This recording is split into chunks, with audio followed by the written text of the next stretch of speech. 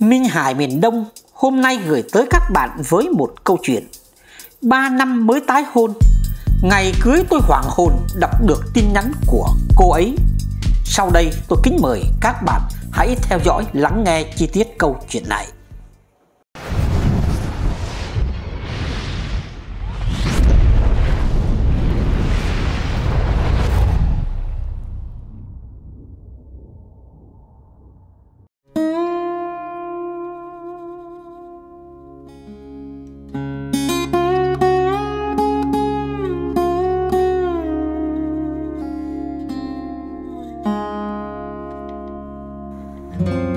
37 tuổi, tôi có trong tay mọi thứ, nhà lầu, xe hơi, công danh và sự nghiệp ổn định.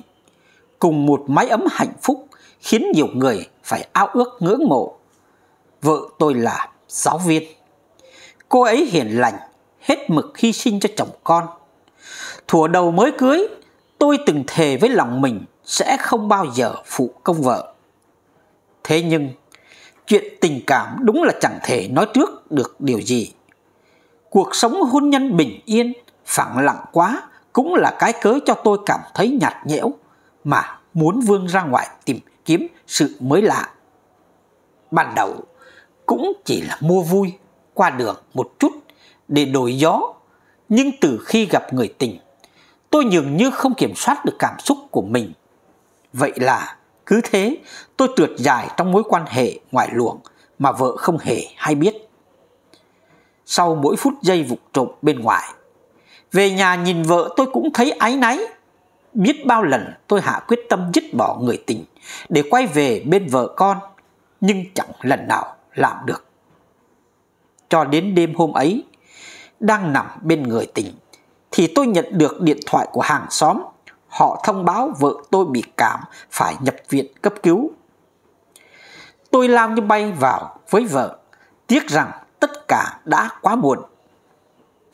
Nhìn hai bên nội ngoại gục khóc trước cửa phòng cấp cứu mà tôi ngã khủy. Họ bảo trước khi mất, em liên tục gọi tên tôi. Vậy mà, khi ấy tôi lại đang nằm ôm một người đàn bà khác. Lo hậu sự cho em trong nỗi đau giận vặt Trước di ảnh của em, tôi sám hối không biết bao nhiêu lần. Thề hứa sẽ thay em chăm sóc con thật là cẩn thận để chuộc lỗi. Mặc cho người tình dục dã, tôi để đúng 3 năm hết tang vợ. Lúc ấy con trai đã vào cấp 2 mới quyết định tái hôn. Tuy rằng trong lòng còn đau xót người cũ, nhưng cuộc sống phía trước còn dài. Tôi nghĩ mình cũng cần phải ổn định cuộc sống trở lại. Vậy mà đúng ngày cưới. Khi công việc xong xuôi cả, trước khi về phòng tân hôn, tôi gõ cửa định vào tâm sự với con trai một chút thì thấy nó là ngủ.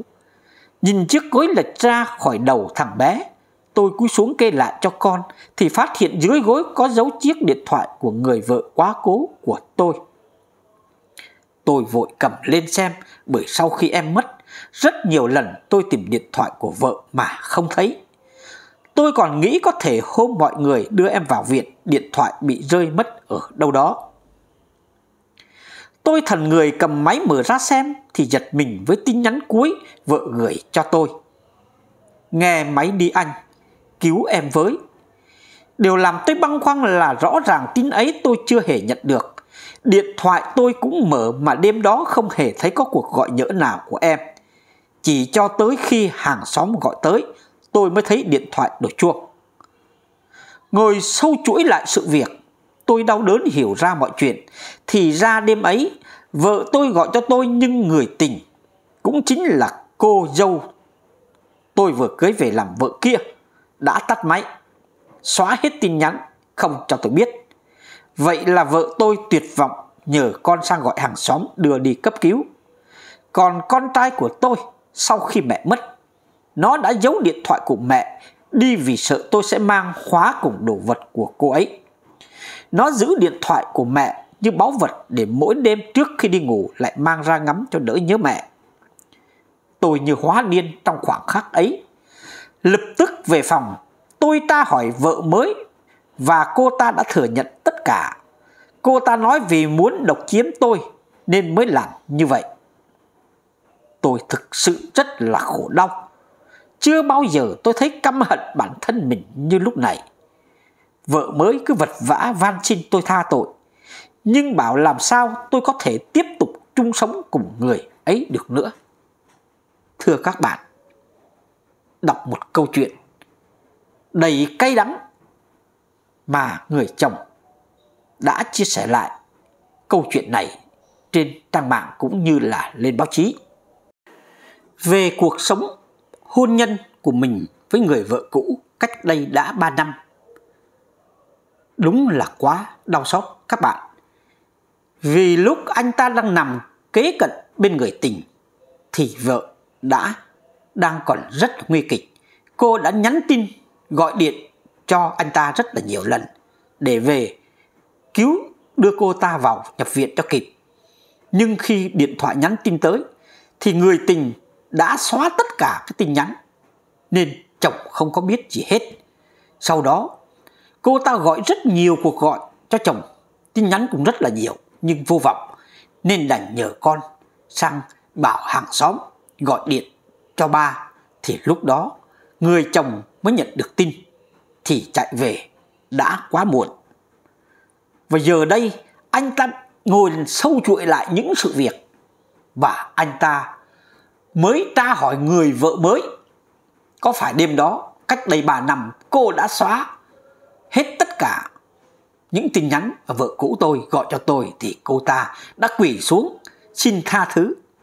Đây là một điều quá ác độc đối với người vợ cũ, phải không các bạn? Rất là đau lòng. Và câu chuyện cũng cho ta thấy tình cảm vợ chồng.